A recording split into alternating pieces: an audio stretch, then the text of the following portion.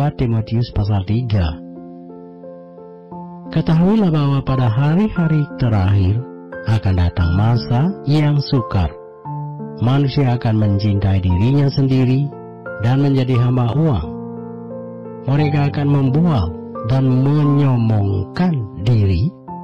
Mereka akan menjadi pemfitnah. Mereka akan berontak terhadap orang tua dan tidak tahu berterima kasih.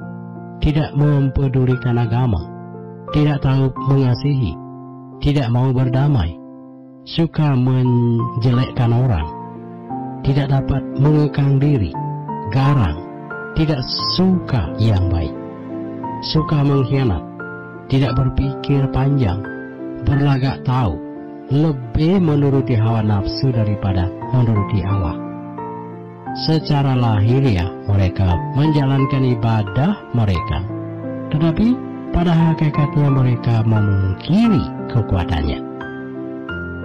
Jauhilah mereka itu, sebab di antara mereka terdapat orang-orang yang menyelundup ke rumah orang lain dan menyeret perempuan-perempuan lemah yang syarat dengan dosa dan dikuasai oleh berbagai-bagai nafsu yang walaupun selalu ingin diajar namun tidak pernah dapat mengenal kebenaran.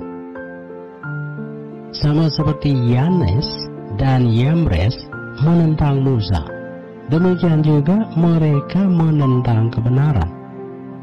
Akal mereka bobrok dan iman mereka tidak tahan uji, tetapi sudah pasti mereka tidak akan lebih maju.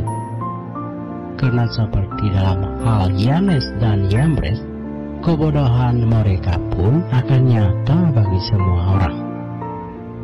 Tetapi engkau telah mengikuti ajaranku, cara hidupku, pendirianku, imanku, kesabaranku, kasihku, dan ketekunanku.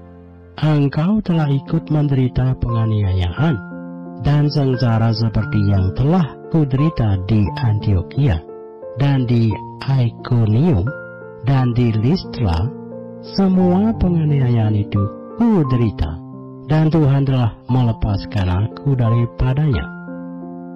Memang setiap orang yang mau hidup beribadah di dalam Kristus Yesus akan menderita aniaya. Sedangkan orang jahat dan penipu akan bertambah jahat. Mereka menyesatkan dan disesatkan. Tetapi hendaklah engkau tetap berpegang pada kebenaran yang telah engkau terima dan engkau yakini. Dengan selalu mengingat orang yang telah mengajarkannya kepadamu. Ingatlah juga bahwa dari kecil engkau sudah mengenal kitab suci yang dapat memberi hikmat kepadamu dan menuntun engkau kepada keselamatan oleh iman kepada Kristus Yesus.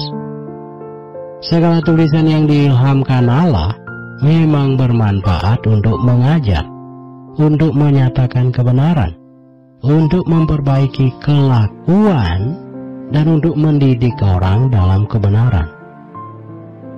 Dengan demikian tiap-tiap manusia kepunyaan Allah diperlengkapi untuk setiap perbuatan baik.